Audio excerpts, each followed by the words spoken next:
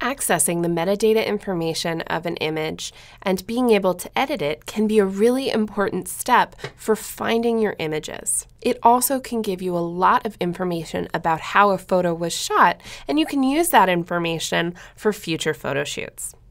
I have an image selected inside of Perfect Browse, and on the right hand side of my screen, you can see that I've opened up the metadata pane. At the top, you'll see the author or the photographer of this image, Liz LePage, the description of the photo, it's an image of my aunt, grandmother, and cousin at a wedding in South Carolina.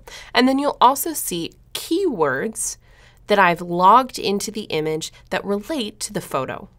You can go through and you can edit any of these by clicking inside the dialog. Let's say that for author, I want to change it to my full name from Liz LePage to Elizabeth LePage. You can also go in and add more keywords. Go into the Add Keyword dialog and let's type in aunt, and I'll hit return to add that. And I'll also type in cousin and hit return. You can go through and you can also delete a keyword if you don't want that to be added in by selecting it and hitting delete. Down below, there are two other types of metadata that you'll be able to access. The first is EXIF, or Exchangeable Image File.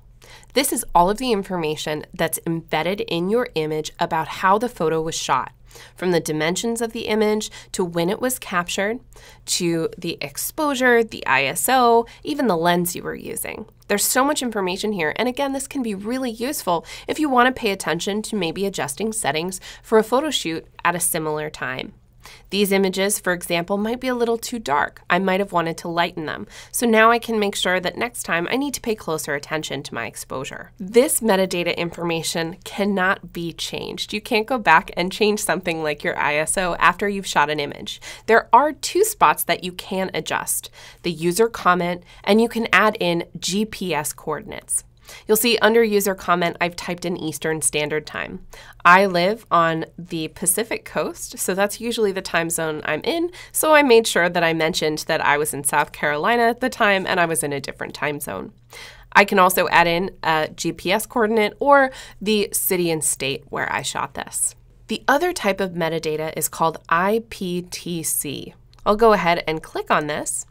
And IPTC stands for International Press Telecommunications Council. This was an old type of file information that you were able to log into your images. Things like creator, the person who made the image, the job title of that person, and things like where they live, and information about how and when and where the photo was shot. This can be a really great way to embed things like your email address, your website, and your phone number so that if anyone tries to steal your images, all of the information will already be built into the file. You can type in information in any of these different areas. Let's say for creator, I have Elizabeth LePage typed, and for job title, I'm going to type in photographer. Underneath, I can add things like the address, city, state, and postal code of where I live, and lots of other options down here. If you want to go through and select multiple photos to adjust the metadata, you can go in and you can select those images and type that in. I'm going to choose all of the photos that have my aunt and cousin in them. I'll click on one, hold down the Command key, and select the photos that I want to adjust. Once they're selected, on the right-hand side of the screen, I'm going to click on Add Keyword, and I'm going to type in aunt. A dialog will pop up asking you whether you'd like to change the metadata on multiple photos all at once, you can go ahead and click Don't Show Me This Message Again and click OK, and it'll add that in.